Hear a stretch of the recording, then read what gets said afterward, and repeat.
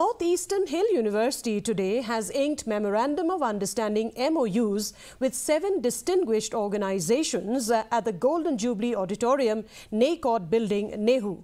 Nehu Registrar Colonel retired Omkar Singh signed the MOUs with the representatives of different firms and organizations. Speaking on the occasion, Nehu VC Prabhashankar Shukla said that the university is looking to take a significant step forward, fostering collaboration and excellence across diverse fields with the signing of these MOUs. These companies included the Indo-Korea Business Cultural Center, JETS 24 by 7, Shillong, State Cancer Institute, GMC and others.